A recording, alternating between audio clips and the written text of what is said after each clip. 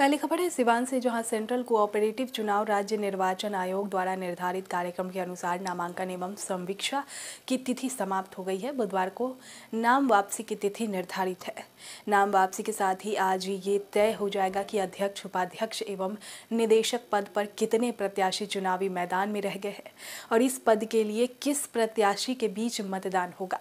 गौर करने वाली बात तो ये है कि विभिन्न पदों के प्रत्याशी कड़ी धूप में गर्मी के बावजूद मतदाताओं से जन संपर्क में जुटे हुए हैं, क्योंकि अब दिनों दिन मतदान की तिथि नज़दीक आ रही है। बारह अप्रैल को मतदान के बाद मतगणना भी हो जाएगी। निदेशक पद पर एक नामांकन पत्र रद्द होने के बाद इक्कीस उम्मीदवार रह गए हैं। वहीं अध्यक्ष के लिए तीन था, उपाध्यक्ष के लिए छह नामांकन पत्र समीक्षा में सही पाए गए थे। इसमें बताते चले कि कई अभ्यर्थियों का नाम दो सेट में भी हुआ है।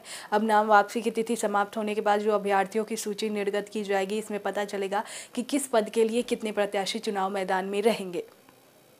अगली खबर, नालंदा ज़िले के बिहार शरीफ की रौनक पाँच दिनों के बाद धीरे धीरे पटरी पर लौटने लगी है। मंगलवार और बुधवार को भी शहर के अधिकतर दुकानें खुली। शहर के कुछ संवेदनशील इलाकों में दुकानें बंद रही। कुछ संख्या में टेंपो व ई रिक्शा भी चलती देखी गई, हालाँकि उसमें सवारी नाम मात्र के ही थे। दो बजे अधिकतर लोगों ने अपनी अपनी दुकानें बंद कर दी। चार बजे कई स्थानों पर पुलिस दुकानों को बंद कराती दिखी। दो अप्रैल से शहर में शांति का माहौल है। उसके बाद से कोई अप्रिय घटना नहीं हुई है। शहर में अफवाहों का बाज़ार अब भी गर्म है। विभिन्न राजनीतिक दलों के लोग भी संवेदना जताने के लिए पहुँचने लगे। मंगलवार को निकलने गए सद्भावना मार्च का असर देखने को मिला। बुधवार को सोहसराय इलाके में मार्च निकाला गया। अगली खबर, बिहार के मुख्यमंत्री नीतीश कुमार ने बिहार शरीफ और सासाराम में रामनवमी पर हुए हिंसा को लेकर बीजेपी और केंद्र सरकार पर गंभीर आरोप लगाए हैं। उन्होंने पीएम नरेंद्र मोदी, केंद्रीय गृह मंत्री अमित शाह और अजुद्दीन ओवैसी का नाम लिए बगैर ही उन्हें जमकर लपेटा। सीएम नीतीश ने कह दिया, ये लोग दिल्ली में क्या कर रहे हैं? देख लीजिए, सोशल मीडिया पर दुर्प्रचार हो रहा है। दो लोग हैं जिसमें से एक राज कर रहे हैं और दूसरा उनका एजेंट है। ये लोग सब इधर उधर करने का काम कर रहे हैं। नीतीश के इस बयान से कयास लगाया जा रहा है कि राज करना बोलकर एक तरफ़ वो नरेंद्र मोदी और अमित शाह पर हमला कर रहे हैं तो दूसरी तरफ़ एजेंट बोलकर अजदुद्दीन ओवैसी पर निशाना साध रहे हैं। नीतीश कुमार ने जगजीवन राम की जयंती के मौके पर बुधवार को मीडिया से बातचीत की।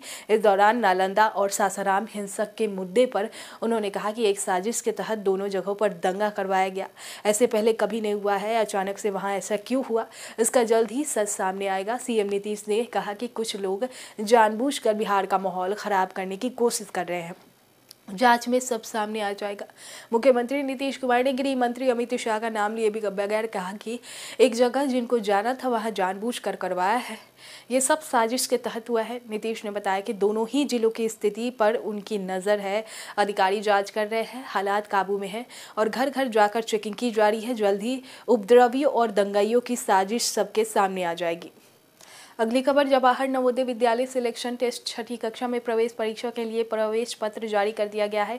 जवाहर नवोदय विद्यालय में शैक्षणिक सत्र 2023-24 के लिए छठी कक्षा में प्रवेश के लिए परीक्षा उनतीस अप्रैल को राज्य के विभिन्न परीक्षा केंद्रों पर सुबह ग्यारह बज के तीस मिनट से आयोजित की जाएगी। रिज़ल्ट जून में जारी किया जाएगा। Admit card Navodaya dot government dot in पर जाकर डाउनलोड कर सकते हैं। टेस्ट दो घंटे का होगा। परीक्षा ग्यारह बज के तीस मिनट से एक बज के तीस मिनट तक चली जाएगी। इसमें तीन सेक्शन होंगे, सभी प्रश्न ऑब्जेक्टिव टाइप के पूछे जाएँगे।